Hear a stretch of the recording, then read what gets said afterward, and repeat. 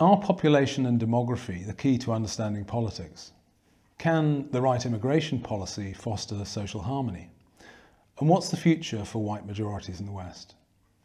If you're interested in these questions, then the person to consult is my guest today.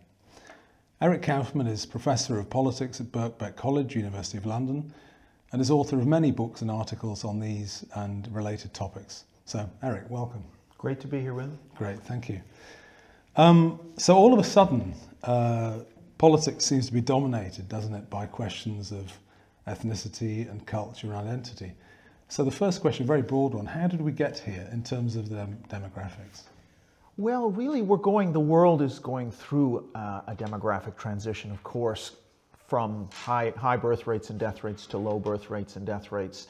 Uh, the place that got there first is the West. And what happened was then the birth rates sort of fell below the death rate. So we don't have replacement fertility. Um, and what that means is it accelerates the rate of change brought in by immigration. And so really all the world's population growth now is in the developing world, pretty much.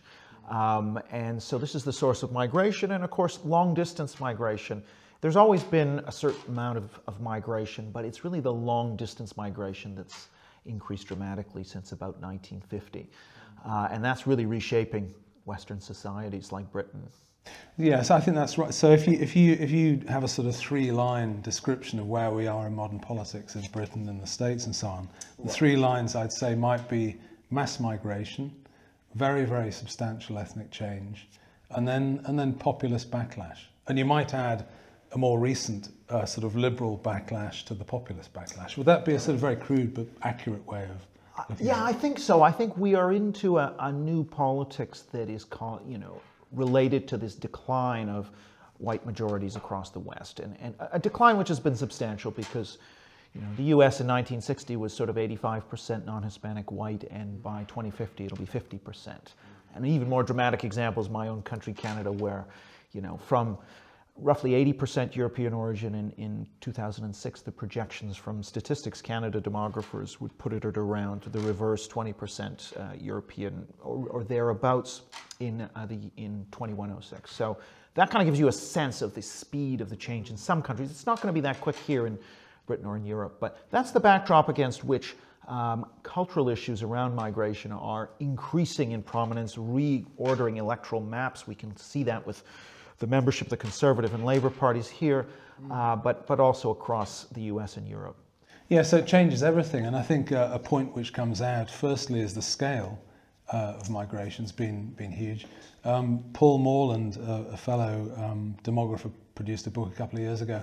Uh, and a line that jumped out of that book was that the, um, the actual amount, the quantum of immigration, say, into Britain at the peak, in the peak years of the New Labour uh, expansion and immigration in one year was larger than the total from uh, 1066 to 1900. Right. So it's a quite, a, I mean, it was a staggering thing, which if it's right, it just shows you the scale. And I suppose that gets on to uh, the question of, of change. And in the, in the city that we're speaking from today, London, it's, it's, it's changed hugely.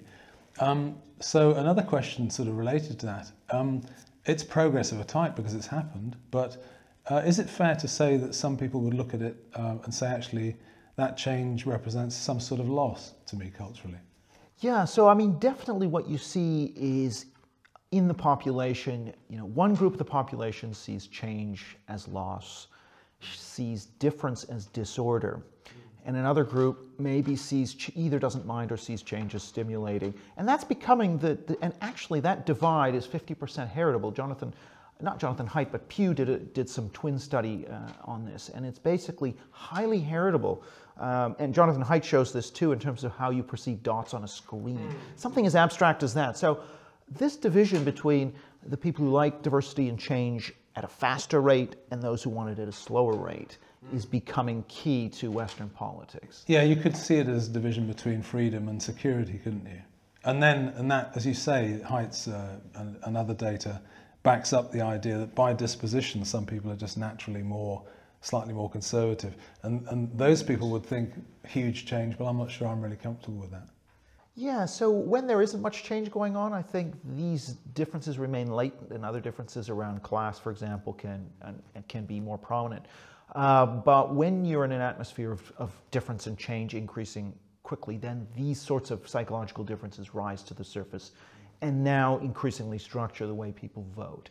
So absolutely, this is a, I think it marks, you know, you, could, you can look for historical analogies. You can see that in Scotland, which did receive more immigration, say, than England in many places, given the Irish migration there, that the Protestant Catholic issue uh, was very important for politics for quite a while. Mm. And so many working class Scots voted Conservative um, because they were Protestant, for example. And, you know, so that, that sort of, and Northern Ireland is as an extreme of that where there isn't really the left right and it's much more about which community you belong to. Mm. But, but that's just to say that politics sometimes is about culture and sometimes it's about the economic divide. And we're moving towards, I think, these cultural divisions more dominating it. Yeah. yeah. No, I think that's right. I think that's probably you can see that everywhere now. I think. Um, and you you mentioned the Irish question is interesting in, in Scotland, west of Scotland, because as you say, uh, as recently as the 50s, you had very very large uh, constituency number of constituencies in Strathclyde that were conservative because they were unionist. But that was partly sort of yeah. Uh, reflected in, in the ethnicity, wasn't it? Yeah, yeah, and, and in Liverpool you saw that locally, you know, um, but yeah, this is this is where you can get these divisions that, that violated the, the old, you know, left economic left-right Labour-Tory equation that held in in Britain so, or England so strongly uh, post-war. So we're, we're a very, very diverse society now. So um, the one of the main uh, aims of politics must therefore be a sort of a quest for uh, common ground and, and, peace among very, very different groups.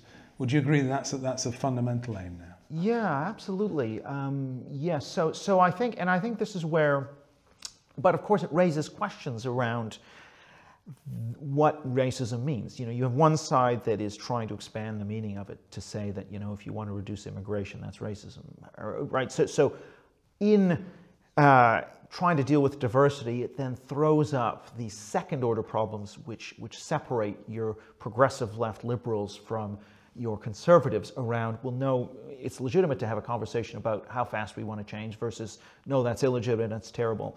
Uh, so it's the second kind of moral clash, which is overlaid on and thrown up by the sort of demographic cultural clash. Yeah, um, we, I mean, uh, when, when, we're looking, when we've looked at it as a party, what, what are the sort of foundations? What are the preconditions for getting along? Uh, one, a very important one for us is, is what we call civilized toleration, uh, which originally sort of uh, something that John Gray wrote about, actually, um, which is to have uh, a degree of toleration for differences, because there will be differences, and we've got to negotiate them. And the idea that you get strict proportionality in every single domain, I think, is uh, unrealistic, given the, the fact that people make different choices. Yeah. Yeah, I think I, I, that's right. I think that I mean, if you're talking about the equality debate, this this is driven too much by uh, gap gap-based thinking. Oh, there's a, a, gender gap, a race gap. There must be racism. Um, now there could be, but a sort of sophisticated approach would be to say, well, controlling for the pipeline of applicants uh, is there bias, controlling for you know people's merit and aptitude and, and interest in, in, different things and their, their education and class background, is there still a bias? That's a kind of, that would be a scientific way of doing it as opposed to, oh my God, there's a gap, this is shameful. So yeah, I think we've been, too much of the discourse has been too, that overgeneralized sweeping narrative and not enough on saying, let's be targeted, let's focus on rigorous gaps that survive attempts at falsification from competing theories, that more scientific approach, I think, needs to replace the kind of maximalist approach we've seen. Yeah. Yeah. So you're, you're, what you're saying there is basically any if you view any disparity as as evidence, direct evidence of re, direct prejudice, and racism, then you're you're making a mistake. Actually. Yeah, exactly. And and it can actually even work the other way. It may be that maybe um, Hindu Indians are, are earning more money than whites, but maybe they should be earning even more money so maybe there is discrimination against them at the highest levels, or maybe there isn't, but the only way to know that, and equally on the other end, if, if a group is underperforming, it may not be evidence of discrimination. So, uh, you know, I think this is where, and I don't, people aren't asking these questions about, you know, why do Jews earn more money than Christians? You know, so clearly there are only certain questions that are getting a lot of the attention. Um, what is necessary, I think, in all of this is a sort of scientific approach that sort of controls for confounding variables and deals with counter arguments. And we're not we're not even remotely there. We're not well. We're not certainly not even remotely there because because of course the questions only get asked uh, in certain domains, and uh, you know so no, very few people say well, why are uh, black people overrepresented in the premiership? Maybe cultural, you know, right. Uh, uh, may, may not be. Um, why are what white working class boys underperforming in education? Rarely gets brought up. So it's only in certain areas, isn't it?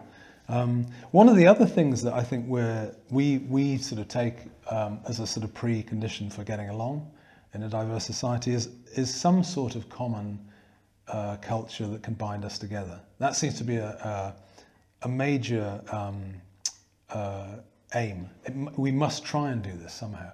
So that how would you how would you go about that in, in a very very diverse, an increasingly diverse society? Well, I, I have this concept of multivocalism, which is not multiculturalism, but which sort of says, well, you know, we need to have common symbols like like in this country, say the Union Jack, or or you know, a, a common history, but clearly, you know, people from different class and age and, and ethnic backgrounds are going to forge their ties somewhat differently to somewhat different symbols. And so it may be that we know from the BBC survey of Englishness that you know, white British people have a higher, their Englishness is, somewhat more attached to countryside, for example, than ethnic minorities, although 50% of minorities are also attached to countryside. You know, it doesn't have to be the case that white British and minorities identify to Britain equally through the countryside. It may be that minority Britons identify more with, you know, the NHS or with diversity or whatever they, it would, whatever. Uh, you have to allow that flexibility, though. So if someone wants to identify their Britishness through the countryside and even through many generations' ancestry in Britain, that's fine. It does, as long as they're not saying this is the only way to be British. So allowing a kind of, it's like a menu, having people pick off a menu. It is a menu, it's not endless. Um, but you're not sort of stigmatizing people who choose certain things and other things. Right? Yeah, I think, I think there, are, there are serious possibilities in that. Um, but also, I think that demonstrates that is that the, um, the level of patriotism among uh, some of our immigrant groups is much higher than some of our progressive liberal white groups. I mean, obviously, I mean, I'd sooner be in a ditch with them. right. Yeah? yeah, I mean, it proves the point. Yeah, yeah, and and all, and you have also, yeah, and of course, you can see this I think it's even more pronounced in the US, uh, but you also see it here where minorities will have an identity with what the radicals might call white history. They will be attached to, you know, figures like Churchill and so on. Mm. Not maybe not so much Churchill as, as other figures, but still, um, and that is part of their patriotic identity, and and so and that's very hard to to grasp. I mean, one of the, the surprises, of course, in the U.S. election was the Hispanic and Asian and to some extent African American increase in vote for Trump. And, and if you look at the survey data on this, I mean, it's tied very much to similar themes to, to why white voters voted for Trump. So it's mm. not the case that minorities are voting for Trump out of pure economic self-interest or religious interest or whatever, that, that they're buying into this national mythos. of national, yeah. Yeah, of, of, what, what, what America is, yeah, and they, and they, yeah. they have as much uh, desire to, to retain and protect that as anyone else. That's right, yeah, and this is where I think on, you know, you can look at immigration as, as a litmus of that, and, and you know, a lot of minority Trump voters, you know, the overwhelming majority would support things like building a wall, things like deportation, etc. Um, and, and, and part of that is, is, is that they are attached to the country they know, grow, grow, knew growing up and so forth they don't want to see that change as rapidly. And so it's a very similar kind of impulse. Um, so yeah, this is not a kind of racially exclusive. Uh, but it's still, I mean, you can read you can read optimists on on sort of national mythos and, and culturally binding central, you know, common cultures. You can read pessimists. Um, and I, but we certainly need to be uh, aware of it. We need to try and foster it and build it because, um, I mean, it, thinkers like Oakeshott and certainly John Gray would, would argue, probably with some force, that you can't do without it. I mean, you, you, you know, you can't. Gray has described um, the United States as functioning like, a, you know, in a sort of low-grade civil war, uh, low-intensity civil war. And in a sense, that's right. If you if you fail to to bring people together, you've got. I mean, in, in an indifference to bringing people together, I think is a problem. Yeah, I think that's right, and I think especially when you don't increasingly we don't have the Cold War, we don't have pressures on the boundaries, people trying to invade us. Some of the things which might have served to glue people together in the past no longer exist. So we, I think, have to develop a, a nationalism that works in peacetime, if you like. Mm. Uh, and I suppose I'm kind of gravitating to this view of where you allow people to you know, identify differently to the same place, yeah. to the same symbols. So you're not telling people, you know, this is the uh, Declaration of the Rights of Man, you must, you know, recite this pledge or whatever, and this is the only way to be American or French or whatever. The, that you would allow variation in the journey to how you get there. But what you wouldn't stand for as much is this sort of overt criticism and oppositional kind of narrative of your history is awful and racist. Yeah, yeah. And, and, and so that's the kind of thing I think needs to be dialed down so that you know you allow for different forms of say British identity, but that includes that more kind of uh, people that, that identify on the basis of the countryside, on the basis of the history and the ancestry, and not necessarily on the basis of futuristic achievements or uh, the NHS or whatever, or diversity or whatever. So you actually are more tolerant of a view of the country that maybe is based on similarities with the past and not differences from the past. Yeah, I mean, in, in Whiteshift, you're a little bit pessimistic, I think, about the um, the success of, of what we would call civic nationalism. And we, you know, as a civic nationalist party, we, we that's basically the, the, the peg that our coat is hung on, because we believe that um, the, just the, the basic idea that we're in it together and we owe a duty to fellow citizens, and that's primary, or what we would call national citizen preference, cuts across any community. And I think it, I, I'm still would. Uh, I mean, it's been it's been difficult in the present times to argue for that, but that's still what we believe in. I think it has great merit. No, I agree if you if you define it that way in terms of uh, the idea of a common good and, and citizen preference. Uh, but I think that it's not, you know, clearly there were attempts to talk about civic nationalism and British values and things by Gordon Brown and, and, and, and others, and I think they didn't quite address, they can, this sort of thing can't really quite address the problems thrown up by large-scale migration and diversity, that there is also that part of national identity is, is, is what's called everyday nationalism. It is the countless things, such as the countryside, but also uh, drinking tea and, and football and all of these sort of vernacular forms.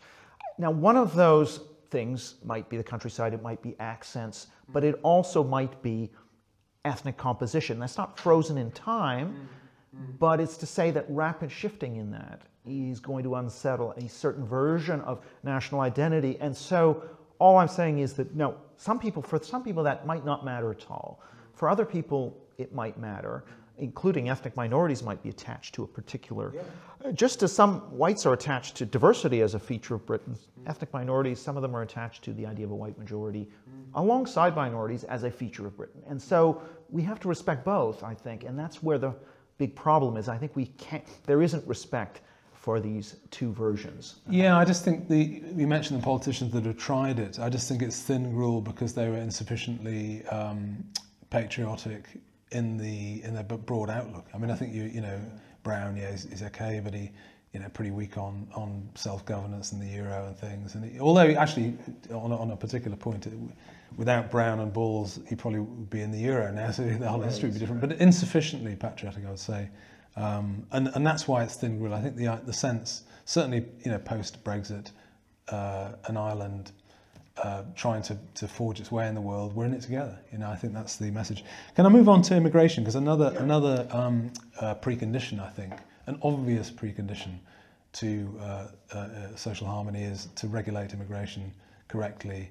Um, and that's why at the, at the, start I sort of mentioned its link to, I think, um, uh, social harmony. Because obviously you, on one side you've got you know some open border zealots that we, we call them who, who would basically want no controls at all. Uh, and then on the other hand you have people wanted to slam the, the brakes on and, and close completely. And no sensible party is going to do that. But you've got to probably we would argue for lower immigration and an, an idea that we've, we've floated although it isn't policy yet is uh, a mass immigration pause so I think we've got uh, gross immigration 750, you know, three quarters of a million people is huge. Um, net immigration over a third of a million, many for most years. It, we think that's just too too high, uh, and I think if you're going to have a, a, a, lower immigration level, it would be wise to sustain it. So, do you think a, an idea of a pause is a good one, and do you think it has a successful historical precedent? Yeah, I mean, I think it, it depends what you mean by a pause, and but I think you know the, the, the, population here. If you if you look at surveys, the number that they're comfortable with is maybe around 100 uh, net, 100,000 a year, uh, which might be sensible. Um, and if you if you look at yeah, I mean, you can look at um, other places in North America. The immigration history of North America is one of you know, periods of large-scale migration followed by periods of pauses, the most famous of which is the U.S. between 1924 and 1965, yeah. during which time uh, a lot of the steam went out of the, the sort of restrictionist movement, a lot of the uh, a lot of the divisions that plagued the country uh, actually started to heal. I mean, Robert Putnam talks a little bit about this in his recent book, although he ignores immigration. But um, yeah, I think it was important in many ways for helping the Catholic and Jewish immigrants sort of begin to assimilate, uh, set the stage for a lowering of the temperature. Uh, in this department and, and, had many positive effects. So yeah, I think I would agree with you. Um, yeah. You You're so, if, you, if your aim is integration and assimilation, then actually the rate of immigration is interlinked with that, isn't it? Uh, yeah, absolutely. Because the, I mean, I really the assimilation is ultimately going to be about ethnic assimilation and intermarriage. That's really the only thing that really, really, really sort of erodes these fundamental electoral divisions. Um, and I think that takes, it takes multiple generations, two or three generations for that process to happen. Once it starts to happen, it then happens really quickly. But during the period, it takes a while. It's one of these gestating things. And so you do need to, to give a pause to, to, for this process to occur. And by the way, state-led integration efforts generally have not been shown to be effective. I mean, we haven't seen much evidence that states can really accelerate that. Uh, yeah. If anything, they can do a lot of bad things. So in a way, this is really down to sort of private social behavior, which does take time to bed down. Yeah, and I agree with that. I think that's that's very very well put. Um, I think uh, indifference to integration has been a problem. Uh, there's a great line in, in uh, David Goodhart's Road Somewhere where he talks about the prom politically on the on the left, and uh, and summarises it by saying the left basically were, were, were too on mass immigration too enthusiastic, and on uh, integration too indifferent. And I think that's right. I mean, there is a, there is a, a, a chance for a society to catch its breath. Um, and we obviously we talk a lot about uh, liberal overreach. And I would argue that if you really, really care about race relations, the social harmony in the UK, uh, lower immigration is probably the answer in the next five, ten years to just to give people a break, actually, to say, okay, well, we've had a lot of change would it be uh, a good idea to, to, to get, you might even call it, if you're taking a different tack, to call it a, uh, an integration pause, mm. you know, something like that. Yeah, I mean, I think what's happened, of course, on the left is, is ideologically, there's been a shift since the 60s towards what I call left modernism. And, and, and what left modernism is, is a kind of a, a cultural, culturally, it's less about class, more about identity. Uh, and this modernism uh, is, is, an, is, a heritage of the Bohemian enclaves going back to the early 20th century. And what the ideology of modernism is really about is diversity and change as a good in and of itself. And so that is now very much integral to uh, the, the left, that left modernist vision. And so clearly, anything that goes against more change and diversity on the culture side is going to be viewed very negatively. And, and, we're kind of seeing that ideology coming up to its peak. I don't think that's appreciated enough in these debates. This ideology is reaching a peak of its influence in society. And this is one of the reasons this conversation, which I agree with you, it makes that, that is the right thing for harmony.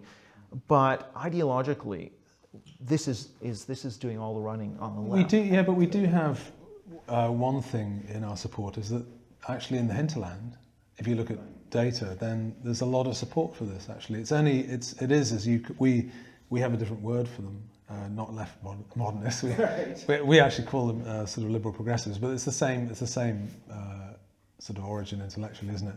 Um, and I think there is a misalignment between what they think and what everyone else thinks, and that's so you know I think as a political project you need to try and represent um, sort of decent populist.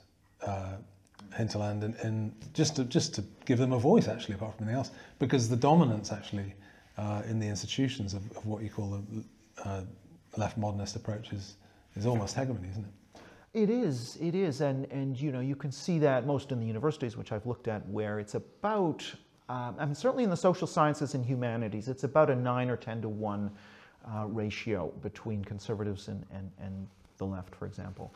Uh, in the U.S., it's more like 14 to one. So yeah, I mean, this is this is a huge skew, and it's it's there to a to a somewhat lesser extent in in other kind of cultural industries.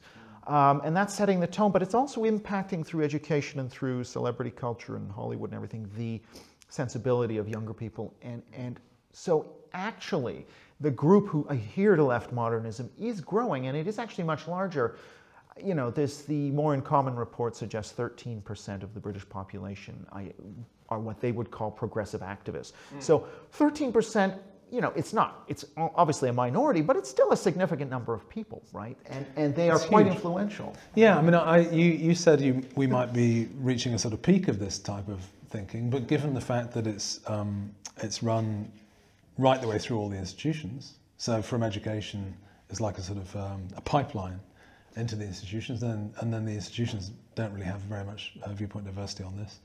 Um, are, you, are you confident it is a peak? I mean, I think could it, couldn't it get worse?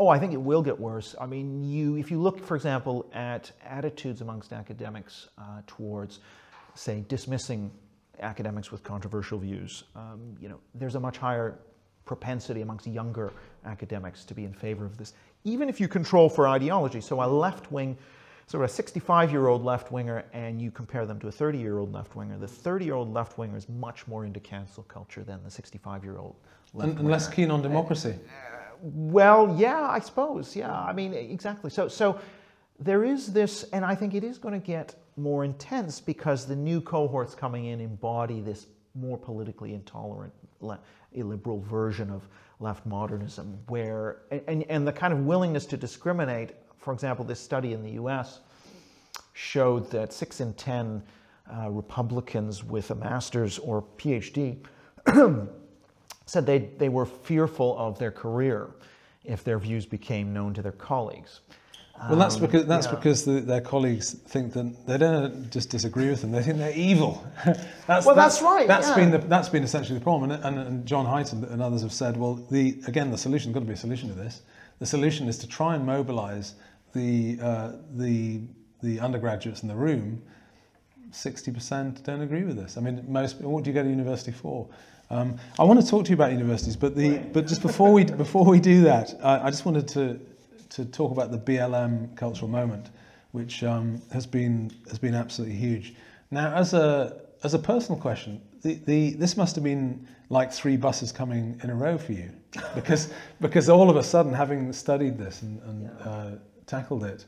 Then you get this, this unusual situation with the pandemic, and then you get a lockdown, and then you get this this worldwide sort of moral panic overnight. And Aris Roussinos commented, I think correctly, that to to be in that moment and to speak English uh, across the Anglosphere was to be instantly infected by this US style hyperracialism. It was just imported overnight.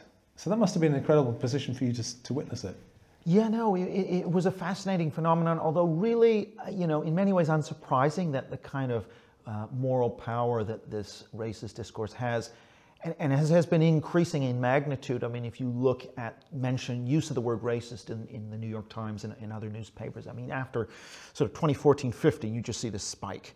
Um, what Matthew Yglesias at Vox, formerly of Vox, he's now left, um, calls the Great Awakening uh, amongst white uh, liberal Americans. But that sort of that sensibility is spread because partly I think there isn't a moral language to combat this. That, that it's a bit like being in a, in a Christian society and a fundamentalist coming along and says, well, it says here in the Bible that you, you, you, know, you shouldn't drink and dance or whatever. And, and there's just no argument to that since everyone's signed up.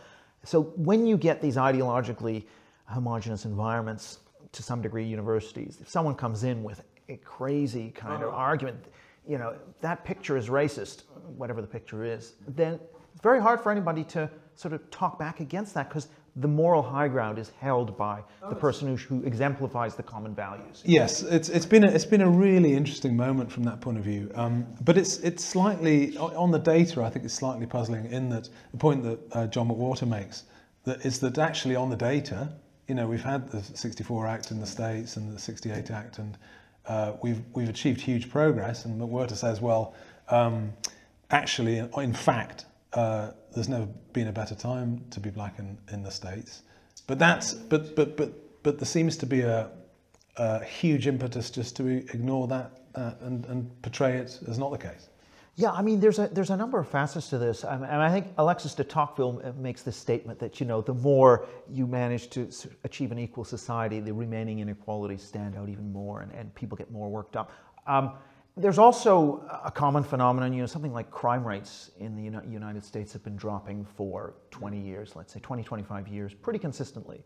And all but two years, people have been said, saying crime is rising over mm. last year. Mm. So you have this kind of innumeracy about things people care a lot about, and, and race is one of them. And I've got a, a study coming out, or a report coming out, which will point out some of the unbelievable factual beliefs that people actually hold, uh, simply because the media has been pumping this uh, a lot. And, and so as, some, as a problem gets smaller and smaller, people will focus and inflate whatever is there more and more. And actually, there have been studies. So one study, I think, was was talking about uh, showing people different faces and which ones are honest or dishonest. And, and it, I think it was removing the dishonest, or maybe it was um, the case, the dishonest cases of fraud or whatever. And they were removing them, and people were still reporting the same share of dishonest people because they kind of felt the need to do that, right? Yeah, I think I've been. I mean, I, I, I would say first off, I think the BLM um, and, and the and the the importing the, the style of politics into the UK is very unhelpful,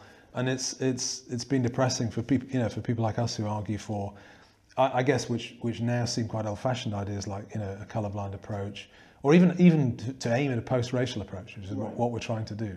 Um, I think this has just put back the whole cause, and I think it's been very divisive and um, uh, polarizing. Yes. And uh, so it's not been helpful. But an interesting aspect of it is, is, is how um, the people that are promoting and agitating, and including the press, and, a lot of the press have, have, jumped onto this, without any sort of critical faculties and, and without any looking at the data. I mean, it, it, it, it does, BLM as a project, as a political project, has not been judged you talk in, in Whiteshift a lot about asymmetri- uh, asymmetries in, in racism.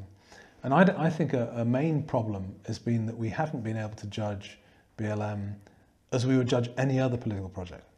Right. So we, you know, so we ignore, you know, the fact that you know it's anti-family and it's, uh, you know, it's, it has Marxist roots, and we just ignore all the things that it says on that. And, and so, well, it's because the broad aim is okay, but you wouldn't judge any other political movement like that, would you? No, no, and, and it's because it gets to what McWhorter calls the religion of anti racism. So that if a group is a totemic group in the religion, then criticizing it is like criticizing Jesus if you're yeah. a Christian. I mean, you can't do it. And so, uh, and cloaking yourself in, in a slogan. I mean, who could say Black Lives Don't Matter, right? I mean, yeah. of course, it's that motte and bailey approach is behind that the slogan no one can disagree with is a whole bunch of objectionable stuff. It's and, a masterpiece yeah, yeah. of political advertising. Well, it's like Antifa, right? Who could, you know, are you saying you're a fascist? How can you not be anti-fascist, right? So it's a, it's a similar strategy, but um, I think it, it, points to this expansion of the definition, and, and, and you see this among, say, religious fundamentalism as well, where, you know, you see signs of the devil everywhere or signs of God everywhere. And this is sort of something quite similar. Yeah. Um, and, but of course, there's also a neglect of the downside, you know, the fact, okay, so you had these, these protests and riots, the police withdrew, and now you've got an enormous number of black people being killed, which no one cares about, which is, I think, Glenn Loury's point that yeah. you're trying to help these people, right? So are we going to have a do a proper accounting of? of but it's the asymmetry, uh, Eric. It's the asymmetry. That's that's what's so stark in it. And Coleman Hughes has been on this as well about about the press coverage bias. So you know, we, we have a national broadcaster here which has in its charter, it's paid for. It doesn't have to be biased. I mean, it is biased. Right, right. It doesn't have to be. I mean, it's not, it's not being paid for by commercial interests saying hammer this, hammer that. Um, and, and they have a, this fact checker uh, who's paid, you know, a reasonable amount of money, I'm sure. And he's never, it, during the, the peak of the BLM uh, movement in the UK, he never, there was no BBC piece on, on the racial disparity in police shootings in, in the US. And the fact there isn't really a disparity. I mean, R.G. Fryer's Harvard report sort of pretty much proves that there isn't. I mean, there are lots of other problems in policing in the States, and there's, there's a need for reform, and there's, there are some shining examples, uh, you know, in uh, New Jersey and so on, where you can get it right. So it's not to say there weren't issues, but on that major thing, it was never fact-checked. And, and I think the irresponsibility is to let that sort of, let that meme fly, and and then, as you say, just completely ignore and not report 24 deaths by shootings in Chicago in a weekend. Well, exactly. I mean, this is this is the remarkable thing, and and and the, you know, he, for example, one of the things that you will notice is that the people's beliefs about the number of uh, young black people that are shot by police, I mean, are wildly out of touch with reality if you look at survey evidence. Um, and that's so, so here we have kind of essentially fake news and misinformation going on that's believed in an uncritical way. Now, I mean, you know, and, and I'm not saying that, you know, obviously the right does it too, this idea of the election being stolen or whatever. Yeah. Um, but, but clearly it's an asymmetry on how you're treating these two things based on the holiness, perceived holiness of anything around race and to some extent gender and sexuality. So how, how we as a society take on this holiness, the dominance of this sort of left modernist religiosity, because even kind of more reasonable people will be reluctant to stand up to this. And I've seen this in university committee meetings, and mm-hmm. everyone knows this stuff's crazy, but no one's going to stand up to it because then you look like you're, you know, conservative or even worse, or racist, which puts Alt you in the out group. Yes, yeah. yes. right. So, right, yeah. so it's not just that, that there's a penetration in these elite institutions of people with this set of views, but it is the, you know, it's the force multiplier of the taboo it is a taboo. So, it, so, yeah. it, it, it is, and it's it's certainly when we argue for low immigration. Primarily, I mean, uh, the three main headings on, on our case for low immigration are certainly centre left headings. So you know, we, we I, I mean, I think there's been a it's economics, so you can it's you know you're in the realm of a, a, a, a fragmented discipline to put it mildly. But but uh, we think on immigration, you know, the the the um, uh, the Europeans' labour market, European-wide labour markets had a, a downward uh, effect on wage rates. Uh, just a, a, basic view on supply and demand should, should tell you that. We think it's uh, discouraged uh, domestic training, skills training, which again you don't have to train anyone if you can just import people like like econs. You know, it's just just just you know dehumanizes people actually. You, you don't. There's no idea that you should train your own population. Just just buy it in. And, and then the, the, whole point about solidarity, you know, the, the, what we used to call the social contract, you know, just, just I think very large uh, immigration threatens that. I would say they're all left of centre ideas, but if you, if you, if you say, uh, well, we should have slightly more moderated immigration, you are immediately alt-right probably. Right, right, yeah, but yeah, but that's, you know, it's kind of an example where um, a lot of people say, oh, well, political correctness is just an issue on campus, it doesn't really matter. But actually, when you look at its downstream effects, so mm. if it shuts down a conversation on immigration and the main parties aren't able to touch it, which especially in continental Europe or in the US mm. uh, prior to Trump, then that opens the space for populists, for example. Mm. You wouldn't have pop, you know, right-wing populism if you, if you had the mainstream parties dealing with this. So now you've got populism, you've got polarization. You know, if you can't talk about Rotherham, well, Tommy Robinson now has an opportunity to pop. We do talk about Rotherham. We do, but you've got to be brave to talk about it. You have to. I mean, it's not. I mean, it's such a difficult. That that particular issue right. is such a difficult issue. I mean, I think there's a very strong case to say the girls that were um, abused there, the abuse is partly racially motivated. I think there's a there's a there's a, reasonable case to, to say that on the evidence, but um, you know, yeah, if, if, if mainstream politicians won't talk about it, then it is left to the likes of others. Yeah. I mean, they can talk about it sensitively and say, well, you know, clearly this is not a, a verdict on uh, Pakistani Muslims. This is like a tiny group of people. You, you can say it in, in a way that, you know, Trump doesn't. You know, you can say it in a sort of more uh, appropriate way. But I think just to, to deal with that, or even issues around, say, the, you know, family issues and, and, and whether one parent or two parent, does that matter for kids being raped. You know, all of these sorts of issues are much, much more difficult to talk about when you've got these taboos, which they are getting in the but, way. But again, it stores we, up a, a, time bomb. We try and yeah, I'm an on yeah, family. I, I, I, speak a lot. I, I, I, I try and raise it as many times as I can because I think as a, a foundation of society, it's there and the data's in there. It's not. It is a um, you know a, a key a key foundation of society, and you know it shouldn't be uh, controversial to say that lad, lads need dads. It shouldn't be, but but it is. I agree. Uh, as to as to whether we're um, headed uh, in the right direction, there is there is a, a, ray of light. Very recently, wasn't there, at Cambridge University recently on freedom of speech, Um, and could you tell us something about what happened there? That was, that was interesting. Well, I mean, this is the good work uh, of Arif Ahmed, who's uh, an academic at Cambridge who organized uh, this vote. And really, what, what Cambridge were trying to do was, was shift the definition of, uh, you know, that you actually had to respect, quote unquote, respect the identities and, and views of others and not just tolerate them, which would basically mean that anybody could say, well, um, you know, you're making an argument for lower immigration, so you're, you're actually making me feel unsafe and disrespecting me in some way as, as a person of color. Or, you know, people would be able to concoct arguments on the trans issue or whatever, or on the, on the Israel-Palestine issue, uh, and, and essentially bring up hurt feelings as a way to shut down debate. And, and that is sort of what's behind the no platforming and behind a lot of the uh, open letter campaigns to dismiss academics and all of this sort of illiberalism that has been growing since, in this country, probably about 2017 in, in, in a serious way. Uh, and that was soundly rejected, you know, I think by a margin of something like, you know, 80, 85% of, of 1,500 senior academics, uh, or largely senior, uh, rejected this. And so that's a big blow to the activists and appliant leadership that's gone along with the activists uh, who've been pushing this agenda. And it kind of gets to where, you know, you have this pressure group that's highly motivated and organized and, and works the taboos.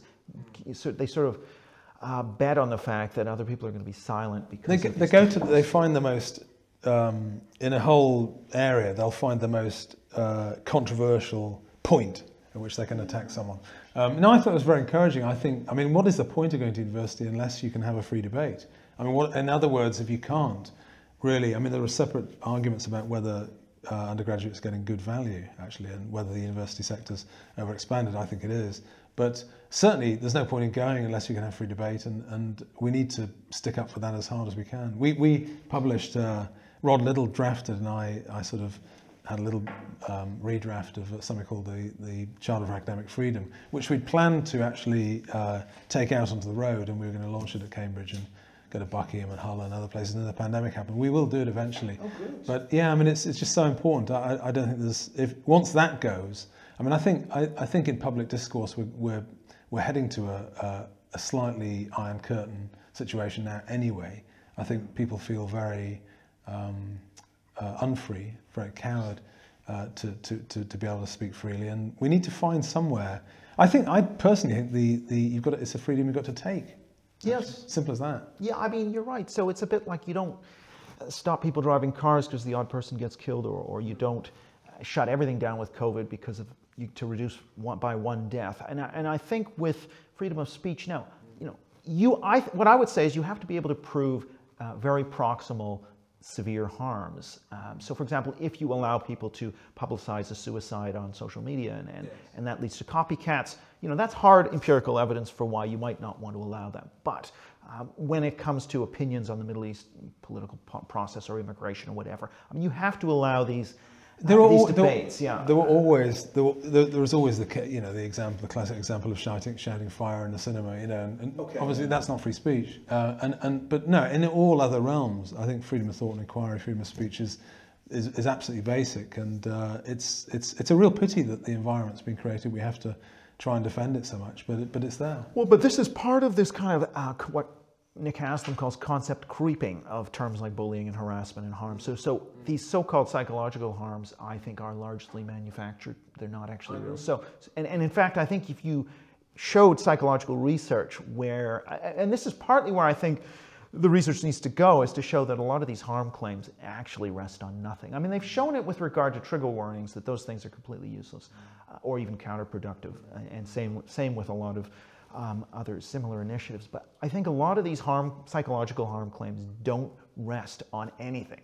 There's, there's no study where they've tested it out and shown, shown, these words to be harmful. No, it's people going out of their way, uh, sort of manufacturing and sensitizing and saying, that statue, you should be offended by that and you should be up in arms. You know, that's the process. It's ideologically constructed. It's not, you know, emerging from lived It experience. puts the whole canon at risk. I mean, you can't read J.S. Mill if that were the case. You know, you could, I mean, there are very few writers pre 1900 that you yeah. can read actually and get. You know, so no, I think it's very, very, um, uh, it's very important we just keep on and take take the freedom that we have and keep it keep it. Absolutely, that needs to be a bigger thing. I'm surprised, you know, say the conservatives haven't haven't made this crusade for freedom or, or freedom of conscience or expression a bigger part of their program. They, the Conservatives, I mean, that's a, an entirely different subject, but the, the Conservatives hasn't really, they haven't really conserved very much. And I think they've been very, very weak on the cultural stuff. I mean, most of the stuff they've just given a buy to.